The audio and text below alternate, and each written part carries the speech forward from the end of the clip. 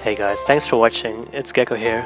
I just want to let you guys know that I'll be live streaming mm, daily probably. Um, my Twitch channel will be in the description down below, so come check me out if you want. And I hope you enjoyed this video. I think I'll be making a full PK video this weekend or even tomorrow. It depends on when, uh, how much time I have and stuff.